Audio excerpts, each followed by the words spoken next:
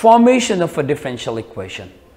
Whenever we deal with the formation of differential equation, we need to find the derivatives of the given equation.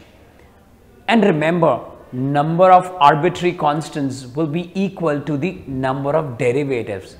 If the initial equation is containing two arbitrary constants, then it will go up to second derivative.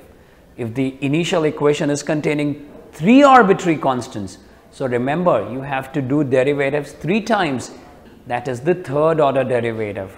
This is how we can form the differential Whenever equation. we form a differential equation, we need a differentiation.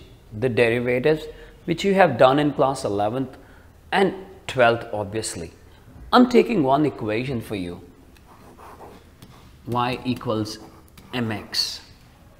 Well, all of us we know that this is the equation of a line passing through origin with some slope and that some slope is m and this is crucial in the formation of differential equation. For me, m can be 2. For you, m can be root 3.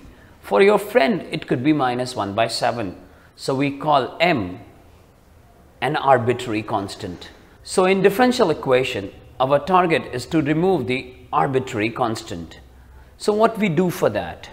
We have one equation y is equal to mx and we differentiate it dy by dx that is m. Now from the equation above, equation number 1, I can find the value of from 1, I can find the value of m which is y upon x and then I can put that in equation number 2. What happens? Dy by dx turns to y upon x. Can you see that this equation is now containing dy by dx, dependent variable, independent variable, and now it is free from arbitrary constant. So we can say that we have formed the differential equation. So this is the differential equation. So any equation containing derivatives, dependent or independent variables, but does not contain the arbitrary constants of the original equation, then that equation becomes the differential equation.